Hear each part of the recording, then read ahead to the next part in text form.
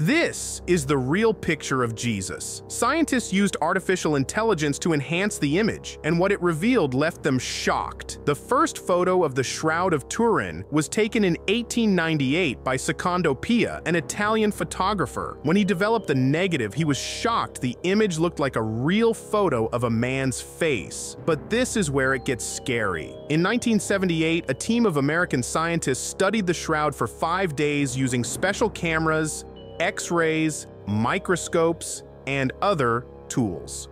The scientists found that the image on the shroud was not painted.